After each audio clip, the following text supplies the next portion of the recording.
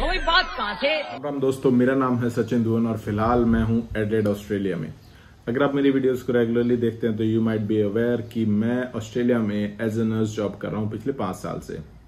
And I been making videos about nursing in Australia तो आज मैंने ये वीडियो इस टॉपिक पे बनाई है कि अभी फ़िलहाल वैकेंसीज का क्या सीन चल रहा है ऑस्ट्रेलिया में। अभी मैंने कुछ दिन पहले इंस्टाग्राम पे मेरे एक क्यू एन ए डाला था कि आप किस टॉपिक्स पे वीडियो देखना चाहते हो तो उसमें एक ये बहुत इंपॉर्टेंट टॉपिक था कि present vacancy situation in Australia for foreign nurses अब अगर हम कंपेयर करें, मैं आपको सिचुएशन बताऊँ और कंट्रीज़ की और ऑस्ट्रेलिया की तो काफ़ी फ़र्क है। अगर आप यूके से कंपेयर करो तो यूके में वैकेंसीज तो ऑलमोस्ट अभी सुनने में ही नहीं आ रही है रिक्रूटमेंट कहीं हो ही नहीं रही है। पर यूके का प्रोसेस थोड़ा दोस्तों अलग है। ऑस्ट्रेलिया का थोड़ा अलग है।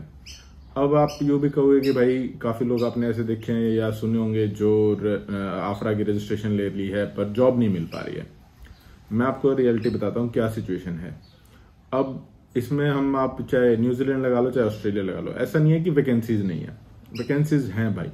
रियलिटी बता रहा हूँ आपको। अभी कुछ दिन पहले हमारी एक भाई से बात हो रही थी। He was he was registered nurse in India then he got his registration of New Zealand then he got registration of Australia और उनको 186 जो कि पीआर होता है डायरेक्ट इंडिया से मिली है। उनका तीन से चार साल का एक्सपीरियंस था, जितने की भी रिक्वायरमेंट थी। और उनको पर्टिकुलर एक स्टेट ने नॉमिनेशन करवाई है, और अब वो डायरेक्ट पीआर पे आने वाले हैं। और उन्होंने फिर मुझे बताया कि और उनके पास और भी ऑफ़र आए थे, जो कि स्पॉन्सरशिप के थे four eight two visa subclass के। और उसका मैंने उनसे पूछा कि आपको क्या लगता है कि मेन रीजन क्या रहा है? कि आपको जॉब मिल रही है और कुछ लोग मेरे को कह रहे हैं कि जॉब नहीं है तो उन्होंने मेरे को दो चीज़ें बताई। पहले बताई कि भाई, जो मेरा रेज्यूमे है, वो काफ़ी अच्छा था। मैंने उनका रेज्यूमे भी चेक किया। उनका ऑलमोस्ट जो मैं कह सकता हूँ कि जो ऑस्ट्रेलियन स्टैंडर्ड्स हैं रेज्यूमे के जिस तरीके का एम्प्लॉयर चाहता है रेज्यूमे वैसा था।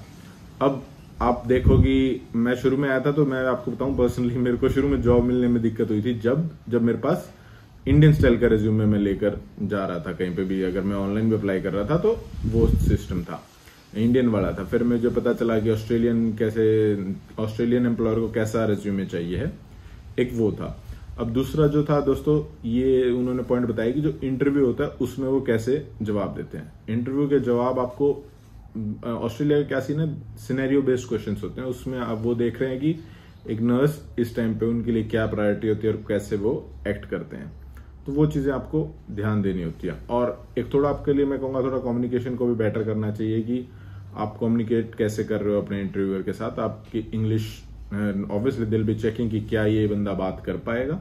हाँ आप लोग कहेंगे कि सेवन ईज अगर आ गए तो obviously we will be able to talk but दोस्तों, अब ये है कि आपको सामने वाला का एक्सेंट भी समझ में आने चाहिए। Because in Australia they don't have similar accent as we have in India तो ये दो पॉइंट जो मुझे लगते हैं पर्सनली बहुत इंपॉर्टेंट है। आपका इंटरव्यू में आप क्या बोलते हो और आपका रिज्यूमे कैसा है?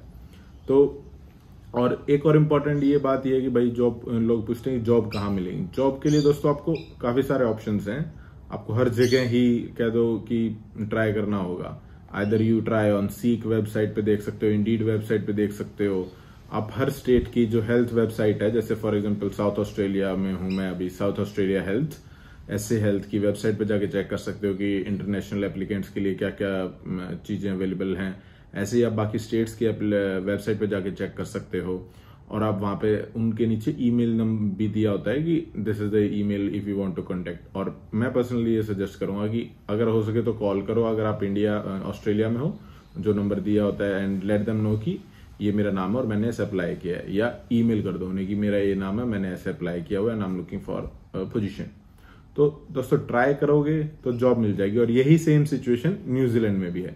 अब न्यूजीलैंड में लोग कहते हैं, बहुत कम वैकेंसी है जॉब्स नहीं है। अभी मेरी न्यूजीलैंड में बात हो रही थी, गौरव भाई से बात हो रही थी। If you are aware Gaurav से जो he make videos about nursing in New Zealand and Australia too तो उनसे बात हो रही थी कि क्या सीन चल रहा है। ही साइड की ऐसा नहीं है कि जॉब्स नहीं है। इट डिपेंड्स की how you are approaching it approach अच्छी रखोगे तो दोस्तों हो सकता है। बहुत अच्छा तरीके से हो सकता है। रिज्यूमे को अच्छे से बनाओ, अच्छी चीज़ें उसमें डालो and that's the only way you can get job और डिपेंड करता है कि आपको पता आपका एक्सपीरियंस किस फ़ील्ड का है, और आप अप्लाई किधर कर रहे हो। आपका एक्सपीरियंस इमरजेंसी का है क्रिटिकल केयर का और अप्लाई आप एज केयर या किसी और भी एक्स वाई जेड जगह पर कर रहे हो तो वो भी थोड़ा इशू आ सकता है।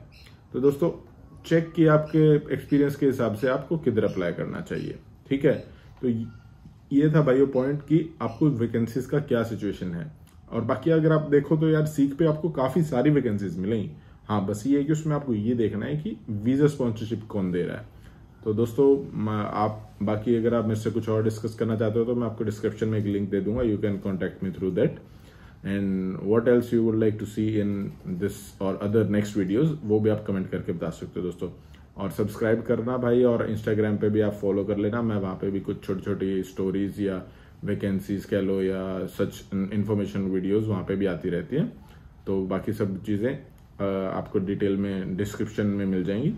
तो आगे मिलते हैं भाइयों। राम राम।